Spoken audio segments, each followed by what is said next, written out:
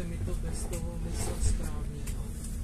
Pokud si mi nadiktovala správně tvoje rodní číslo, tak ho zadala ona špatně. Jo?